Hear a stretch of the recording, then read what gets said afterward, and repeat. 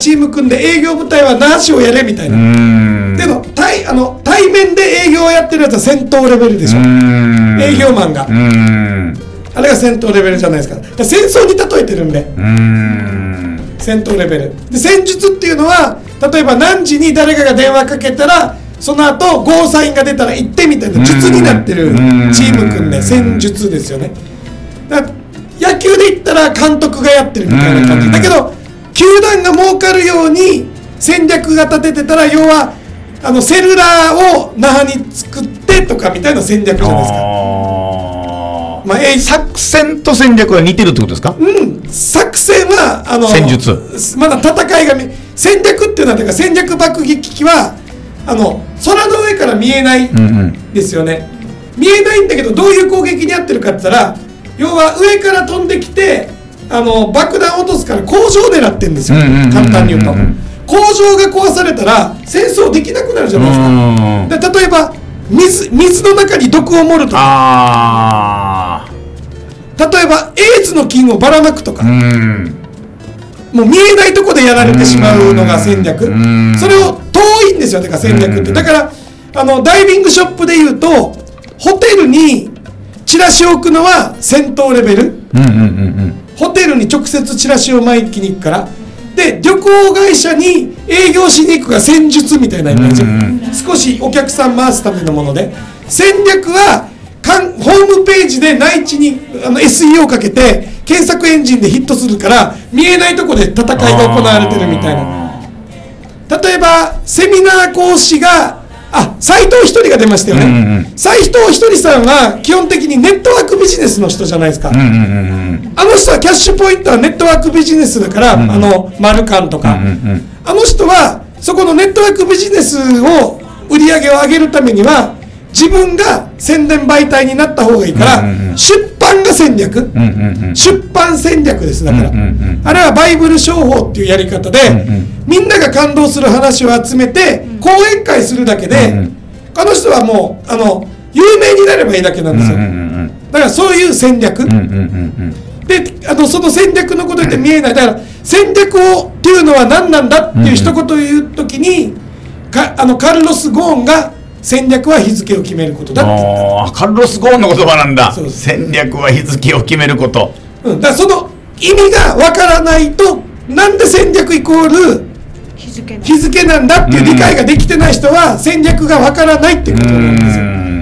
だ例えば、カルロス・ゴーンがそう言って、あなるほどな、みたいな、なるほどな、日付決め、要はだから日付を決めないと、決まってないっていうこと自体で、もうさあの全ての回り出すものが、要は宇宙空間でいうと、場所だって言ったら戦略です、うん。例えば立地戦略って言葉があるじゃないですか、うんうんうん立地戦略って。だから、立地で失敗したら、だから戦略のまた言葉で言うと、戦略のミスは戦術では補えない。うんうんだから例えばせ日本の戦争が負けたのをちょっと極端に言うと、ん。あの時代遅れになったからっていう話になったとしたら、もしかしたら大艦隊時代っていう船で帝国海軍みたいのがあって、うんうん。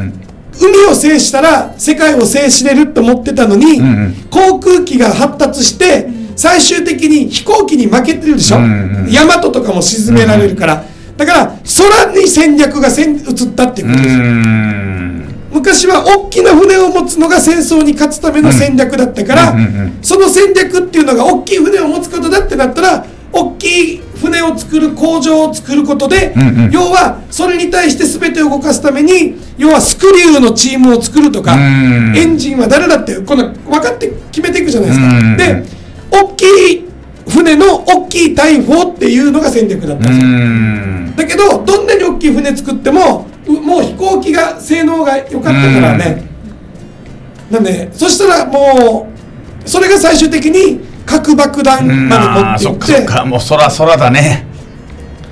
で今は例えば中国の戦略はとかアメリカの戦略はとかいうのは見えないじゃないですか,、うん。だ戦争はもう戦略の話になってくると、ん。僕たちレベルで分かるはずがないんですよ、うん。だから政治家の人たちもはみジャッジができないですよね、うん。なんでかったらここまで情報が来てる時点でもう情報じゃないから、うん。だから自分たちはちょっと申し訳ないけど戦争の話をしてももう変えられない、うん。っていうのが一応僕の中のじ持論にはなっているし大体いや、まあ、例えば脳科学やってるとか一流選手とかいろんな経営者のトップの人の、まあ、日本でもトップレベルとかに行ったらもう戦争の話はしないじゃないですか。うん。なぜかったらもうそもそもが政治が国を変えると思ってるのがもうもう洗脳された結果なんで、うん。実は政治があのす僕はですよだから意見だから誰が当たってるとか 間違ってるとかはないと思うんですけど、実際じゃあ世の中変えてるの一つ何か言ってくださいって言ったら言えます？具体的に言えますか？う商売人じゃないですか？ら商売人っていうことはどういうことなんですか？政治関係ないですよね。ら商売人っていうことはもっと概念を上げるとどういうことになるんですか？人ですそれはまたあのもっと抽象度が違うところに人が書いてるって言ったら、それは人がやってるんでいいんですけど、要は商売が世の中を変えてるっていうんだったら、うん。経済がってああ話にる。なるほどね。経済だね。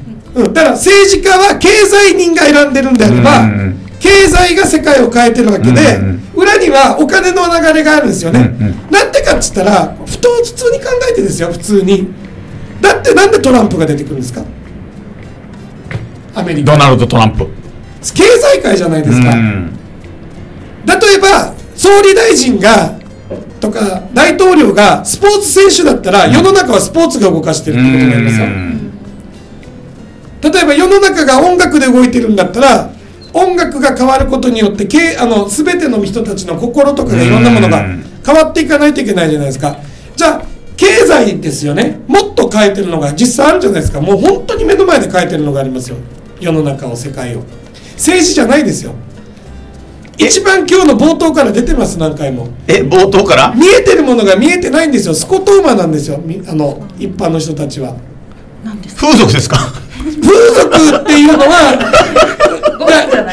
本当に本当に言ったら、う。んしもうびっくりしますよ、うん。スマホですよ。お世の中書いてるのはスマホが書いてるじゃないですか。ああそうだね。もうもう変わってるね今ね。世の中全然変わってるじゃないですかスマホで、だから要は世の中を変えるのはテクノロジーなんですよ。あーテクノロジーか。技術は変えてるじゃないですかうん。実際。例えば車が世の中を変えたり、うんうんインターネットが世の中を変えたりん。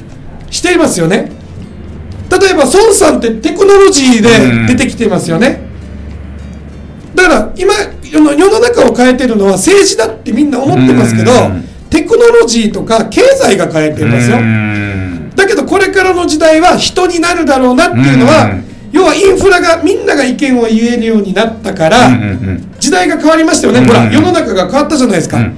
誰でも彼でも自分の意見を世界に発信できるようになって、伝わるつながりっていうとんでもないテクノロジーを手に入れましたよね、うん。個人が、うんこれからは教育が世の中を変える可能性があるっていうふうには言えますけどなるほど。だけど政治は変えてないですよね、うん。政治は変えてないですよ世の中は。これ先週一応喋ったんだけど、うん。スマイルズっていう本があるんですよ。はい。セルフヘルプ。はい。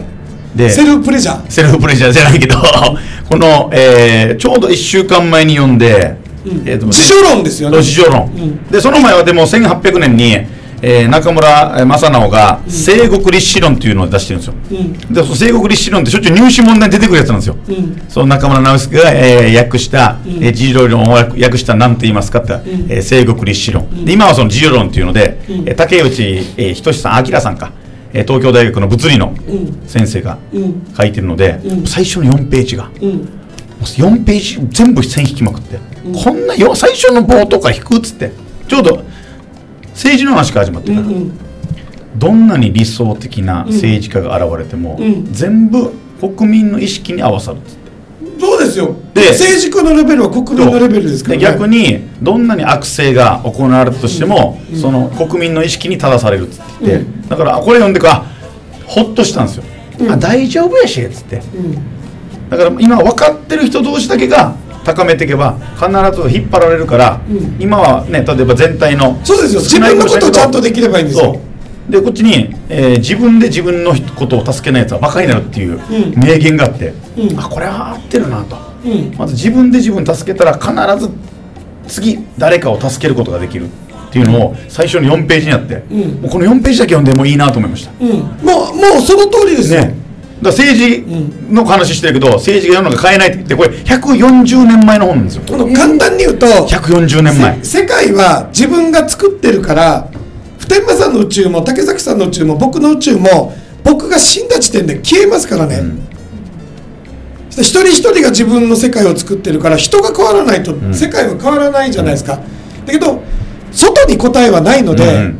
自分を助けることしかできないんですよ、だから自分が助けれない人がひ、ね、周りのことできないから、うん。っていうので僕も同じようなセミナーをしますよ。やばいっすよ。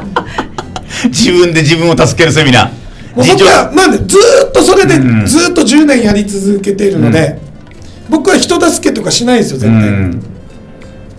あレギュラー。できたおかえりなりましたいつもありがとうございますレギュラー完全無視はいいえいえ細原さんが来たところで失礼します。なんで帰るんですか？ちょっと人が待ってて。下で？車の中にそうそう。あそうなの？ごめん。あ細原さん待ちだったんだ来週来てください竹崎さん、はい、わかりました。あのせっかくあの僕がね変なこと言わなければねいえいえ。じゃあ竹崎さん、はい。さようなら。CM 行った時でいいんじゃないですか？失礼します。はい。あ待ってたの下で。いやいえいえ。やっぱりそこじゃないとダメですよ。ドクさん一応今 CM 行ってないですよ。ああ。CM あこのタイミングでいけるの、うん。あ早く行ってもいいの？あそっかそっか。じゃあじゃあ先に行っとこうか。じゃああじゃあ CM です。もうあの言っとくけどあれですよ。竹さんとあの戻ってから。僕はあのもうすでにありがとうございます普天間勤知事選に向けてスイッチを押しましたからね。さすが。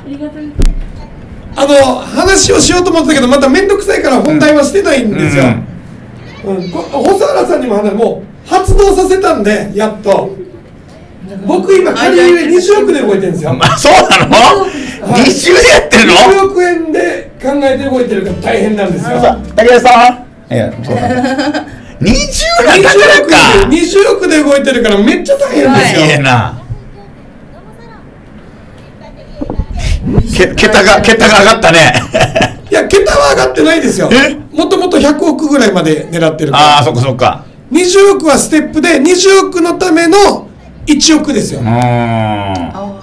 あの最初からもう100億のところ今だだから今20億円を借りるためにうん。今やってることが決まってる、ああなるほどね。うん、要は目標設定のイメージせんイメージをすればできるっていうところのこのゴール設定ってよく言われるじゃないですか。ゴール設定。ゴール設定をここに持ってきた時に、一番大切なのはこのゴールを向きますよね、うんうん。自分を振り向いてゴールから振り向いてその後ろに過去が見えたらアウトですよ、うん。簡単に言ったらもう一回言いますよね。もう一回。ゴールを見ますよ振り向いねてか過去が見えたらアウトいやこれもうゴールの点が、うん。どっか点置いてください、ゴール、うんうん。じゃああの心の本気ビームで。うん、その心の本気ビームがゴールがあって自分軸に見て過去を見た時に直線に見えたらアウトですよ。過去からの延長に持っていってるから。あ要は簡単に言うとゴール設定っていうのは今までの教育で間違ってるのは例えば分かりやすく言いますよ、うん。あの普天間さんとかが一番分かりやすく言うと、進路指導しますよね、うんうんうん。どこの大学行きたいって時に、ううんーん先生マサチューセッツ工科大学、なんて言います？もう普通普通の先生ですか？うん普通の先生。お前成績考えれっていう。うん、で考えれって言いますよね、うん。ドリームキラーじゃないですか、うん。プラス一応成績表持ってくるでしょ、うんうんでこの成績表からするとって言ったらさ、うん。ほらもう過去に持ってるああなるほどね。もう今軸がまっすぐ過去から向かってるでしょ、うんうんうん例えば今た今ですよ。さっきさっきあのさきまさん。はい。はい。あのミキさっき今ミキちゃん。ミキティです。あ本当だ。うん。かわいい。ミキティミキティでいいんですけど例えば今だよ。将来何になりたいの？って時にハリウッド女優って言った時にあのさとか言う言う人いるでしょ？ほらなんで今ここにいたらハリウッド女優になったらダメなの、うんうんだってある程度のことは確かにありますよね、うんうんうん。例えば弁護士になるって言った時に、え弁護士になるの？って言った時に、じゃあ今何してるって言った時のあり方が問題なんですよ、うん。勉強してるのとかじゃないんですよ、うん。僕本当に腹立ってたのは、うんうん。トリプルワークぐらいしてる時に松山でラーメン屋やってたんですよ、うんうんうん僕あの時に月に100万ぐらい稼いでたえからラーメン作っラーメン作ってたんでしょ？僕ラーメン仕込みから全部作れる。ララーメン屋もやったことあるんだ。ーメンチェーン店作るつもりだったんで。あどっちに転んでも僕ラーメン屋もできますよ、うん。予備校先生もできるし、うんうんうん。車屋もできるし何でもできるようにしてあるから、うんとりあえずラーメン屋は当たるって思ってて僕ラーメン福岡の博多ラーメンの一番うまいところあ全部レシピも全部持ってるんですよ、うん。作り方。あの鶏の爪から切切あのハサミで切ってきれい。にマジの出しだ、ま、マジ出しですね。マジの出マジ出しマジ出し。まあ、そういうことで例えばそこでラーメン屋だった時飲み屋から飲んだ後のサラリーマンっていうか、まあ、ほぼ公務員みたいな変なおっさんたち、中小企業のちょっとお偉いさんとかの、そういう人たちが僕とか見ると「兄ちゃん若いのに頑張ってるね」って言うでしょ、うん。うん何やるの？ってこんな若いのにってないくつなの？って27歳ですってうんうん27歳ですって言った時にこんなとこで将来何するの？って考えてるの？って言ったら、うんうんいやここで真面目に働いてるんでって言ってる時に僕昼間予備校で7つの予備校で働いてたんで、うんうんうん1箇所から10万ずつもらってたんで、んうん27の時点でラーメン屋とドカトの3つで月100万あったんですよ、うんうんうん100月100万稼いでる若い者に、ん。あのお兄ちゃんちゃんと考えた方がいいよって言われたまあ、も向こうはだって知らんからね。それね当だから人うん。を人を見た目とかで判断するから、何のためだ戦略が見えないんですよ、見えないねこっちはね。戦略だから自分の、うん僕はダイあのダイビングショップ出す前に2000人予備校で生徒作って出したんですよ、うんダイビングショップ、うん。25億稼いでるんですよ、たった一人で、うんだからそういう感じで言うと目標設定っていうのはその人が本当になりたいものを、ん。何になりたいっていうことがとても大切なことだから、例えば普天間さんが好きなのは僕が県知事になるって公表してるでしょ、もうもうチャービーしてますよ。もう何回言ったからもう。で僕は普天間さんのすごい人間のまっすぐなとこが好きだから、うん。どこ行って紹介した時にも絶対に言うからね。2020年まで普天間あ知事になります県知事になる普天間勉ですって挨拶するんだよ、ん。徹底してやってるから普天間さんの参謀はやってもいいなと思ってるんだ。うけど、ん。だけどやり方がわからないでしょ、ん。やり方がわからないのが夢の証拠だから、うんうんうん。なるほどね。正解ってことでしょ？正解でしょ、ん。なんでかっていうと本当のことを言うとコーチング的なレベルで言うと県知事にならないでもいいから別に、うんうん。総理大臣になってもいいんですよ別に、うんなんでかっていうと県知事になるっていうことの設定が大事なのは、どうやっていいかわからないでしょ、うんうん。後ろ向いても道が来てないから、うんうん。うん前のその道もレールがないってことでしょ、うんうんレールがないっていうことはあらゆる可能性を試すしかないでしょ、うんうんうんしたらもうすでに手段を選ばない状態になってるから、うんうんうん完全にもう目が開いてるさ、ん。ということはやり方が全くわからないレールがないところに目標があるっていうことは、あらゆるものをチャンスとして掴むっていうこの盲点から外れるっていう脳が出来上がるってことなんで、なるほどね。もうすでに外れてるんだ。外れてるんですよ、うんスコトーマが外れてるっていうのはそういうことですよ、でこれさこう行って別になる気ないけどやっぱみんなねあるよね。まず県議からやったらとか市議からやったらとか市長からやったらっていうねありがたいアドバイスを一応もらってるんだけどあそれいらないですって言ってあのななんでって。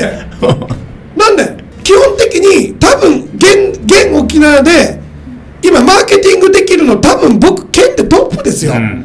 見たことないで僕を僕よりマーケティングできる人、本当に、今回の今日セミナーでゼロですよ生徒。フェイスブックに上げたけど。ゼロ？僕はだからさっき今日言いましたよね。戦略は日付を決めること、うんうんうん僕1年前に7月30日に1期生募集かけるってもう1年前に約束して狙ってるけど、んうんテレビの CM から何から募集が1ヶ月遅れてるんで、うんうんうん募集してないじゃないですか、うんうんうんだけど期日は決まってるんだ。で僕はそのフェイスブックに今日今日はセミナーの第1期生のうん。8月第1回のセミナーで生徒募集がゼロですって、なんで別に悪いんですか、ーうん。なんでもうすでにスタート自体が正直だから、うん。うん。なんで別にテレビの宣伝は今日の夜の1時にするんですよあ今日今日今日今今日の日なの？夜の1時半にテレビのコマーシャルが始まるんですよ。あで僕1件ちょっとラジオで言うのはあれだけど、うん。一月100万のコンサル3件今頼まれてますよ、あうん。大きい会社の社長から、うん。それをやるかやらないかこっち側で決めようとしてるんですよ、うん。で銀行には20億借りに行くって言ってるじゃないですか、うん。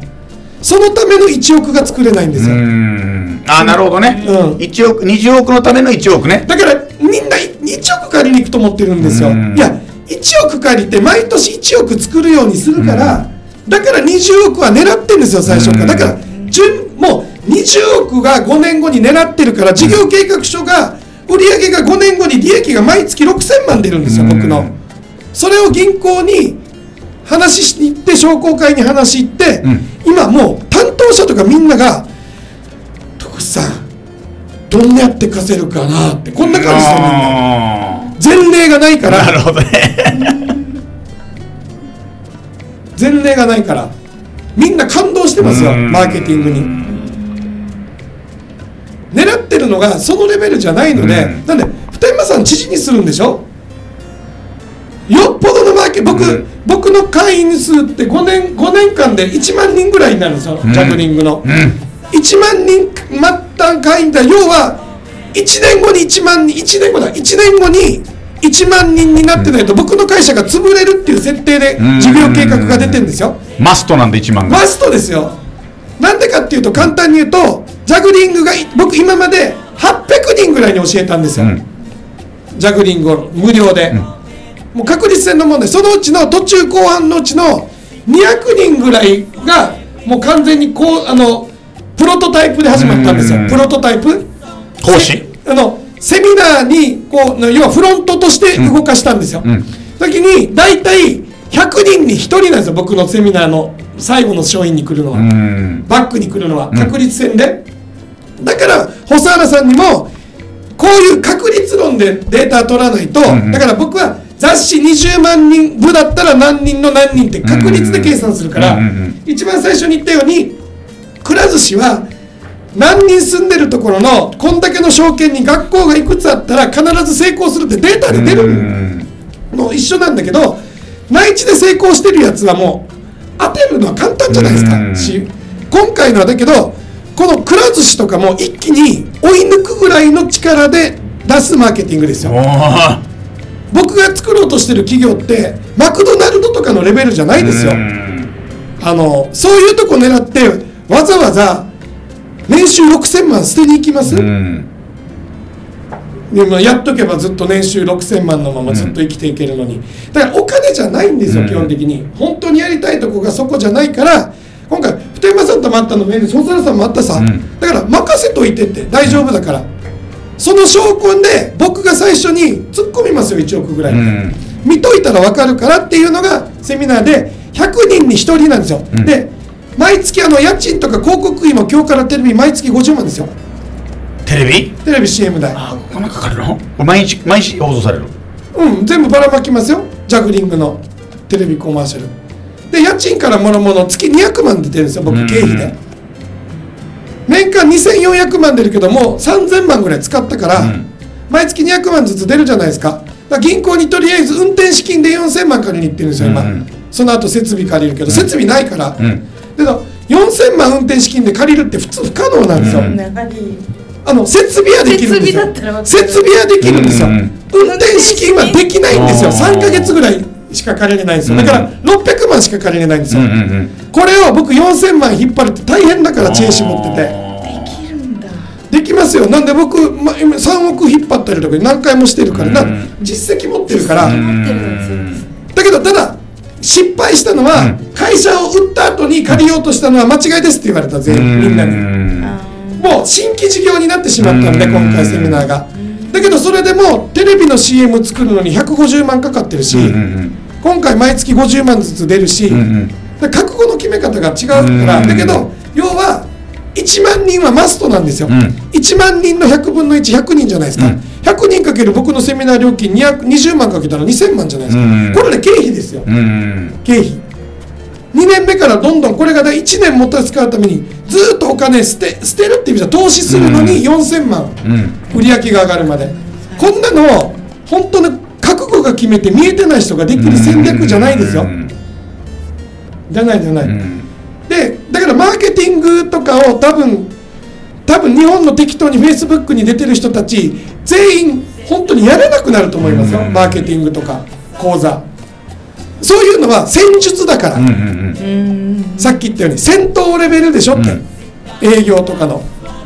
そういう戦闘レベルで商売してる間はなんで世界は狙えないさ、うん。狙ってるのはに沖縄じゃないもん、うん。日本とか世界まで狙ってるから間に合わないもん僕の人生。あと7年しかないのに、なななんで7年って？これ昨日も打ち合わせの時で55からもう世界中旅しに行くからああ野口さんが。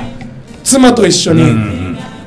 あとうあの子供たちどっか連れてったらナイアガラの滝で砂漠砂漠に連れてってったりとか、そしたら家族分全部遊ぶ代金とかもないといけないけど、んせっかくこの世の中に命を与えられてるんだからとりあえず名は残そうと思わないけど、ん。やりきったところまで遊んどこうやと思ってるから、うん。でやばいことになりますよ、うん。とりあえずそのなんかの一個の祭りで普天間さんはとりあえず県知事にさせとこないといけない。なとりあえず とりあえず。そんな僕そんな難しく考えてないですよ、僕選挙カーも揃えてますよ、あすごい。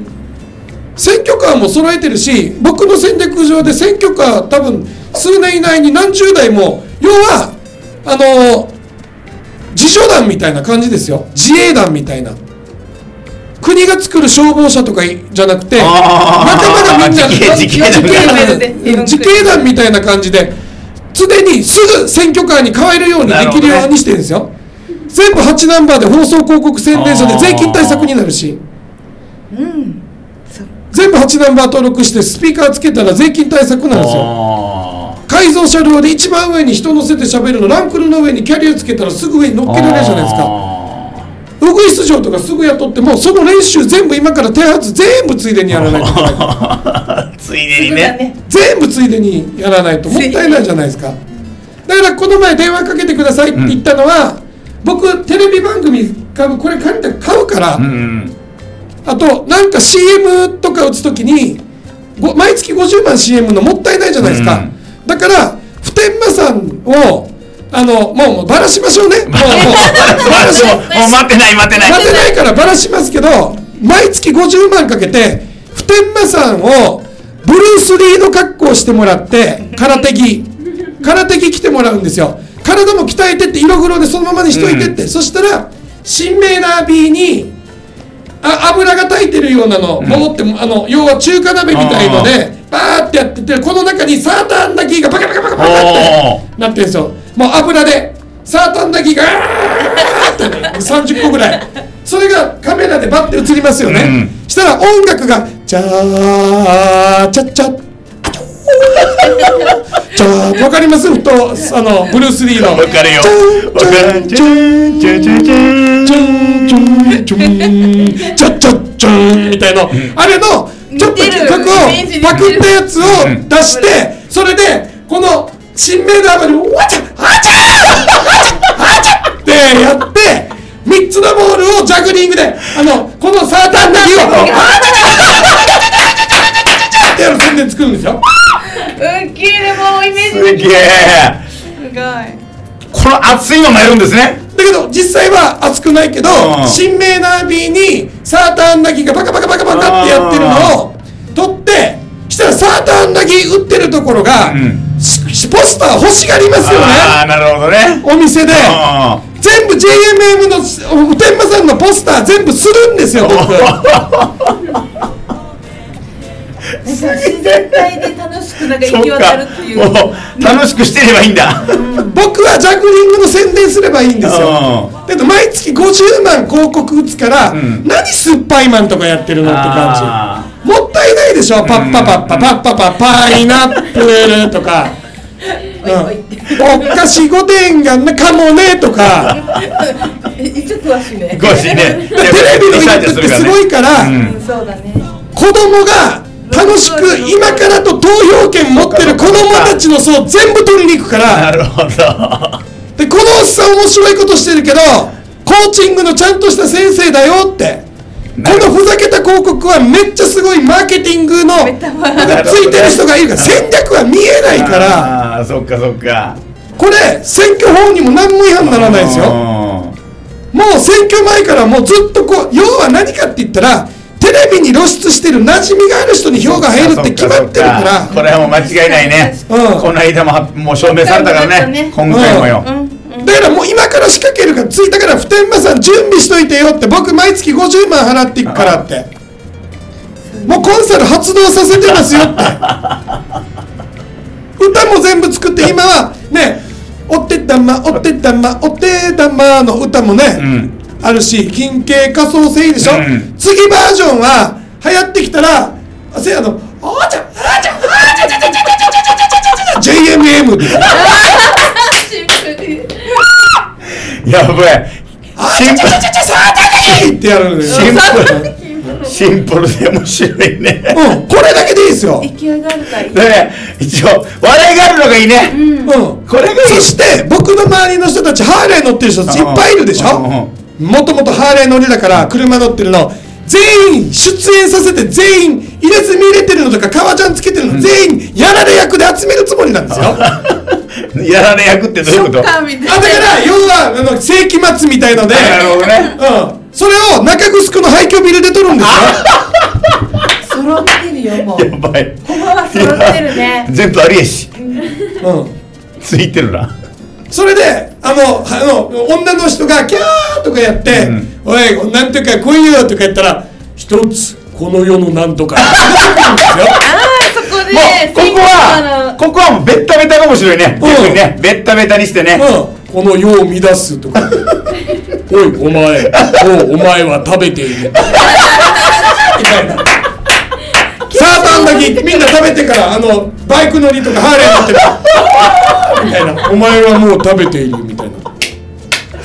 いいね。でしょ？面白いね。料理は面白いけど面白いね？もうその揃ってるもののね一個一個がだからね一個一個本物のすごいです。すごいもので。したら、普天間さんの研修とかバカって入ってくるでしょ？ああそっか。もうちょっとラジオで公開する僕の実力。うん。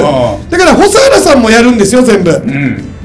だから僕のこのコンサル料金はさ払わないでいいからうん。最初はすぐ銀行にこうやって毎、ま、もうバラしましょうね、うん。毎月10万コンサル料払いますって契約職務10人取って、うん。それを全部銀行に提出から本当に6000万借りてきますよ。あ信用実績っていうのでできるんですよ、うん。僕だから、うん、と10万払う人が20人コンサルしたら毎月200万払うっていううん。印紙ができるからそれで広告って全部これにテレビとホームページ全部広告打ちまくるけどたった10万でこんなブランディングできないからさ告費月10万ってめっちゃ安いよ。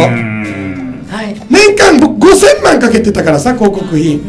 わかるでしょ？集客の。だけど全部僕が仕掛けるからだからこれやったら僕は僕でまず宣伝回すからうん。全部が、まあ、全部が有名人になるんだろううねん。だから僕あのあのねなんだった？あの、うん、とマサ自動車のねはい。じゅんさんにも予告入れてるのにじゅんさんまだ本気にしてないから今日もう一回言わないといけないじゅんさんじゅんさんバージョンもあるんですよ僕。じゅんさんはハゲてるんですよ、んあの最近ストレスかなんかかわからないけど。そったって言ってました。まあまあまあハゲてるんですよハゲてないわいやストーリーの中にまあハゲてるんですよハゲハゲたハゲた手でいきましょうなんでかって言ったらジャグリングしたらボケないボケないボケない、ん。頭の頭が毛が生えたみたいな歌を歌うん。バージョンをやりたいんですよ、ん。だけどボケないボケないって言ったら放送禁止用語になるんですよ、ああそうああやっぱあるんだね。うん、だからそれを僕けない僕けない僕けないって。サブリミナルかそれで神経可塑性 JMM とか作るんですよ。あバージョン。もうそれ全部テレビのね制作会社とももう全部打ち合わせしていくからあ音楽作る曲作るのに10万何十万。出る人周りにいっぱいいますよね。ん。だけどだからあのやられ役についでに上原さんも出るじゃないですか。もう悪党悪役が悪役で。敵敵者敵役やし。で適当じゃないですよ、僕の周りヤンキーからヤン車から車とかベンツからアメ車から何台でも集めきれますよ。それもみんなあのバーベキューで。うん。バーベキュー中城ホテルで撮影、まあ、後ろ踊る人たちもいるしうん。世界7位のバイク乗る人もいるんですよ。そうですね。世界7位ですよ。うん。エアエアバイクの。もう出演 OK 出てる、うん。やばいでしょ もう何も言えない。でしすょごいねこれ。だから本当に沖縄変えるんですって、うん。やっぱ人だね。沖縄を本当に世界を変えるっていうのは自分を変えることだから、うんうんうん。自分が違うから世界が違うんですよ、うん。だから僕は反戦集会とかそういう話はしないです、うん。だから普天間さんもやらないで大丈夫、ん。心配しないで、やっててもいいですよ、ん。あの別にだから意見だから別に普天間さんの政策がうん。反対であろうと、ん。左翼であろうと右翼でも、僕は仲良くだからうん関係ない、うん。今のいい。仲良く。僕は仲良く。左翼右翼どうでもいいから僕は。仲良くよ。仲良くだから、仲良く。うん、だから反対の意見っていうこそとってもいいんですよ、いやね。あのー、まあ辞書にないんだけど「愛は」っていう言葉があってから愛で戦争するじゃないですか。うんだけど日本だけ和和するっていう心があって愛だけだったらまあ起きないとはいかんけど起きる可能性は含まれてるけど愛はになった瞬間もうなくなるんですよ。わってなごみ？そうそう和み。でこれをにひらがなあったら仲良くなんですよ。だからあのうん愛話で愛話が仲良く。愛話が仲良く、あのやっぱり日本国憲法は日本人が作ったやつはやっぱり聖徳太子の17条憲法だから。も和をもって尊しとなすだからうん。一条だから日本国憲法を変える変えない以前の問題に与えられた憲法ではなくてうん。日本人そのものがみんなが作った聖徳太子だからうん。17条憲法。うん。憲法ですよね、ん。和をもって、ん。尊しとなすだから、うん。仲良くだから、あそっか。憲法17条があったんですよやっぱね。だから何言ってるるのってみんな、あるやしそうよ。憲法変えるどうのこうのって言ったけどどうでもいいから、うん。一条は和をもって、尊しとなす、うん、これ飛ばしてるね。飛ばしたらダメですよ、うん。歴史ダメだで。よね。そう歴史を飛ばしたらダメだよもうそれで来てるのに、ただそれを例えば中国が韓国が朝鮮が最近ミサイル撃ち上がってみたいな、うんいいんですよさせとけば、もしここに当たったら心配する必要ないですよね。その時はその時だから、うんそうなった時に今ここで騒いでも止められるもの遠いんですよ政掃除は、掃除じゃない政治は、それよりも僕は目の前のゴミ1個拾えと思ってるから、うん。みんなが変わればいいから自助論ですよ、うん。自分の不満を戦争にぶつけるなって言いたい、嫌なことに、うん。だけどあの普天間さんはやってもいいですよ、許可もらった。あの別にそれはそれであの普天間さんのことだから、うん弟も別だしこの前からだけどどっち読んでもどっちも僕普天間さんがこれだけは見てくれっていうのをん。見ましたよ、あ、思いました？8分間、うん。8分。8分8分だったでしょ？はいはいはい。8分見てあの女の子が喋ってるのも全部ごもっともだと思ったし、うんうんうんあのあなたたちはであななんとかかおばさんが姫売り舞台でとかずっと言ってたでしょ、うんうん。あのその女の子が言ってることとか言ってないことどうでもいいんだけど、ん。聞いてる人たちの態度よって、うんこの座り込みのおっさんたち、まず綺麗に格好ちゃんと清潔感持ってやれって、うん。本気度が足りない、うん反対する人たちも、うん。あの口の利き方から礼儀挨拶ができてないからダメ、うん。あの女の子はきちっと喋ってるから、うんあの女の子はその言ってる内容じゃなくてあの女の子はちゃんと喋ってるって自分の意見を、うん。ただあのタイトルがダメだった、フェイスブックの、ねタイトルあれおかしかったね。タイトルがあの左翼をなんかあのなんか黙らせたみたいな。うんじゃないって。新たな刺激を読んでましたよそうだからあのそこもあんまりあのちゃちゃ入れたりするのはちょっとあの女の子も若いなと思った、うん。けどちゃんとやるんだったら、うん。ちゃんと話した方がいいしだけどもうごもっともだよ、うん。あの前にフェイスブックで上げたあの、おばあちゃんのセリフだけのあれも良かったですよね。どど誰誰が？バカ誰が？ってえよく言ってたおばちゃんおばあちゃんのフェイスブックに上げてたじゃないですか。え僕あげてました？えおばあちゃんの動画？おばあちゃんの動画。どんな動画？あのなんていうの？選挙前の話なんだけど、うんどんなだった？どんなだった？あのなんていうの？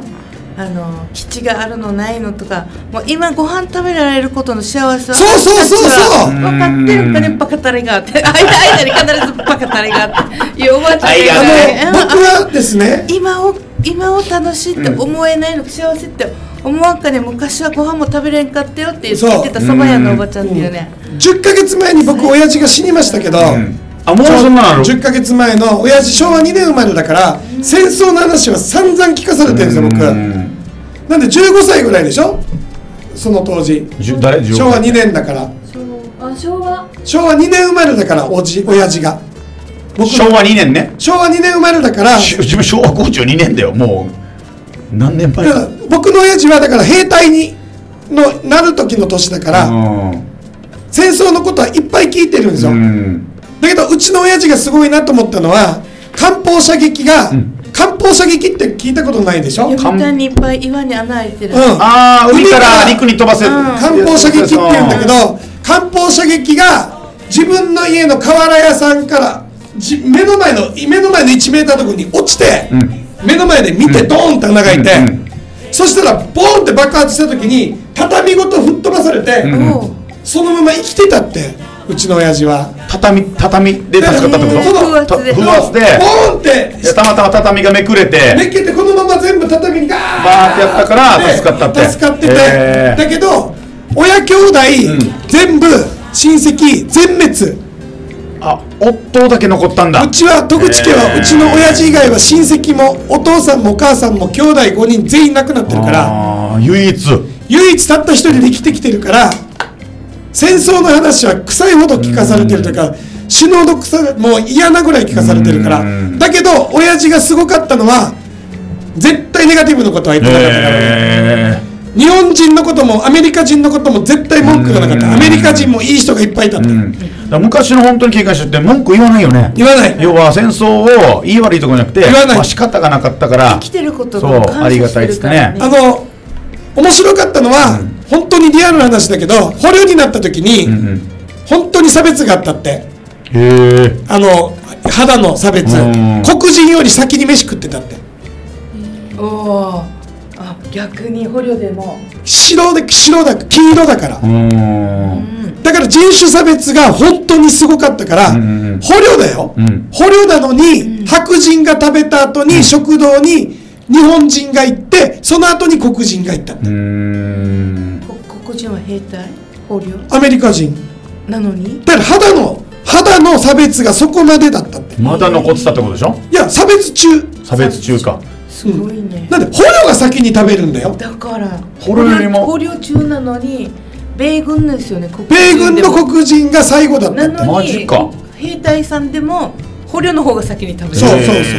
肌が優先。肌が肌の差別がすごいとかそういう誰も喋らない話とかん。腕がこうなったとか毒がいびれられたとか一番井戸水が飲めないんでみんな死んだって。撃たれて死んだっていうのもあるけどあと指切った人もいっぱいいたし鉛筆の芯飲んだのもいっぱいいたって鉛ん。筆のし鉛うんあの飲んだ。どういうこと？兵隊になりたくない人たちが怖くて。病気になったら検査が通らない。ああなるために。人差し指切ったら兵隊に確実になれないって切ってる人若い人いっぱいいた。ってへ銃が握れないから。ーああそっかそっか。リアルな話があるじゃないですか、うん。こうだったああだったとか、うん。何はともあれ今ご飯食べれてるこのこのありがたいことをそうそうそう。なんかねみたいに言ってたよね、うん。それとだおばあちゃんが同じぐらいなんでいやでも親父はたった一人しか生きてないから、うん。だから家族が一番だっていう話しかしないんで、うん。だから僕はその親父に育てられて金は別に後なんですよいつも、うん。お金は持っていけないからって、うん。生かされてるしだから親父が生きてるってことは僕が生きてるってことでしょ、うん。それ生かされてる命を何無駄遣いすんの？みたいな、うんね、そういうだから、あのー仕事とかもいろんなことですよだから、うん。そういうことがみんな分かっていけば戦争のことをああだこうだ見てもないのに、うん。ね。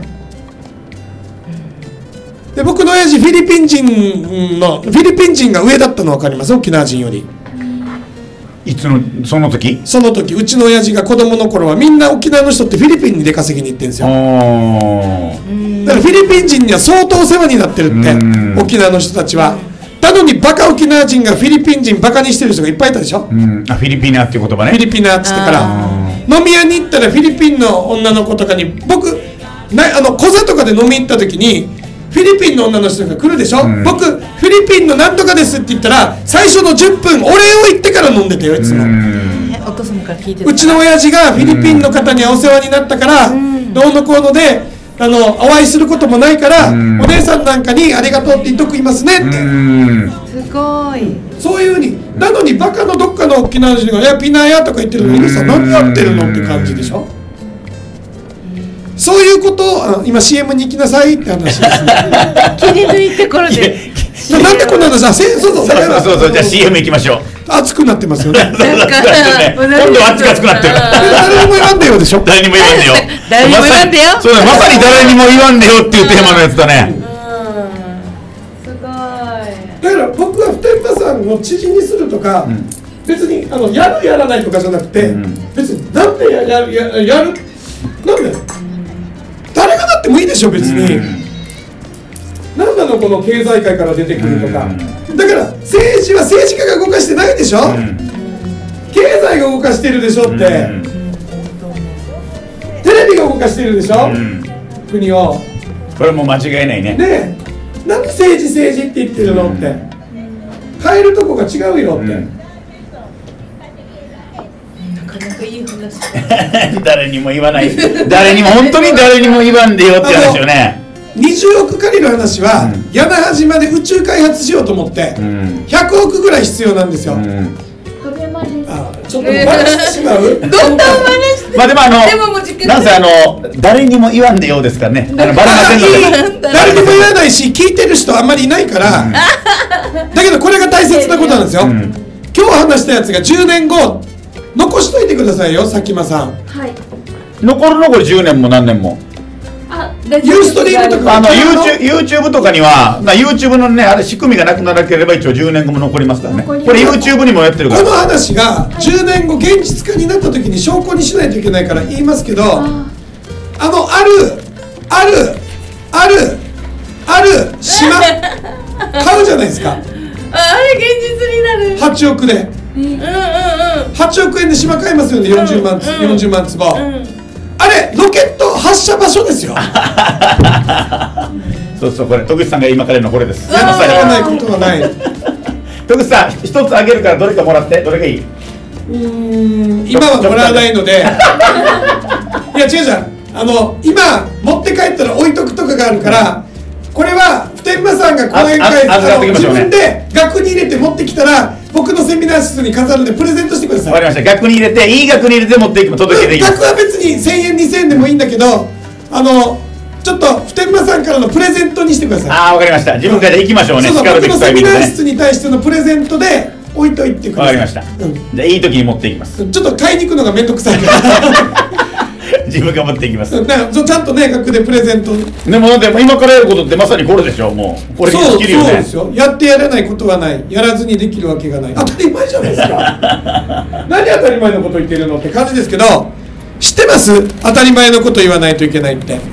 そうだよ。当たり前のこと言わないといけないんだよ。みんなさすごいこと言ってると思ってるけど当たり前のこと言ってるのがすごいことってみんな後から気づいてるだけですよ、なんでリンゴが落ちたら引力だって当たり前でしょみたいな、うん。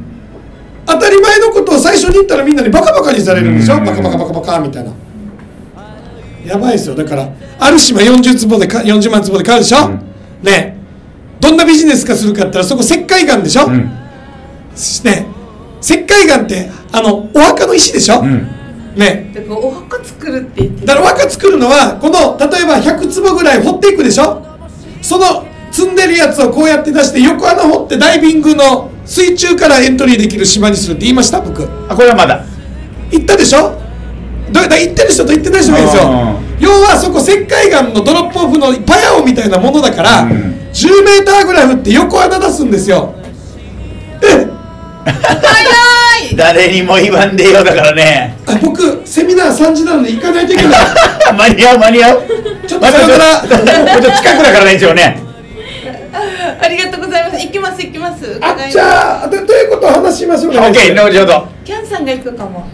あと30ひろみさんまだまだ始まってまだまだ終わってないよ。あと30秒なんですけどあとあと30秒。その穴掘ったところに、はい。そのままロケット飛ばして、はい。ロケットの中にみんなの位牌を1万人分ぐらい月にぶち込むんだって。よかったのにお墓あった。できた。とうとうねって方言で月のことああそっ言ってるんですか。文よ字通りもう月に飛ばすんだ。とうとうめとうとうねって方言で月満月って意味なんですよ。ええ知らなかったよ。だ満月にそして誰にも言わんでよまた来週。透明だもうもうぐちゃぐちゃしてるすごいね。すごいですね。自分焼いたやつの、例えばスプーン1杯分、月に返したいっていう人を1人10万でこれで月がお墓になるって言ったら払う人どどんだけ沖縄にするいると思います？いっぱいいる透明の説明もあれば。したらもうお墓とか作ったりするのを全部養しにして、もう自分が死んだらその親とかも全部年に1回飛ばすから、たった何千万で飛ばせると思いますよ、どこに行っても人間ね見えるからね。人間飛ばすわけじゃないからに例えば 100g で1000人でも何キロとかでしょ、うん。1万人で何十キロでしょ？したら多分1000万ぐらいで飛ばして月にバーンと出したらもうそこでばらまいて月にずっと月にやばいでしょ？はいこれ。北八景でも南八景でもうんここがれできる。これこれが当たり前になる時代。いいやばいでしょ？これ今のは今のやばいでしょ？は今喋ったら残ってるねまだね。YouTube 残るよね。強化ビジネス。だから前からお墓作るって言ってるけどだから戦略は見えないから。見えないね。説明不能だから。僕はだからこれ成功させた。世界一のマーケッターだかあーそらっか。世界中からニュースになるんだよ。伝説だねまた。世界にそしてそれが核抑止力だからさ。沖縄の軍事力をお墓月にぶちミサイルっていうかロケット飛ばせる僕の会社の名前なんていうんですか？ライスロケット。ロケット。この話の前から作ってるからね。計画ですって。9, 9年目です。今日今年8年目なんですよ。あ俺の検知発言とかぶるなかぶると思いますよ。俺その時私もに9年目になった。俺もその時に俺検知になって風の高校で行った。だからセミナー発動させるんですよ。もう始まった。もうやばいでしょ？うーんあすげえ。ライスロケットと一緒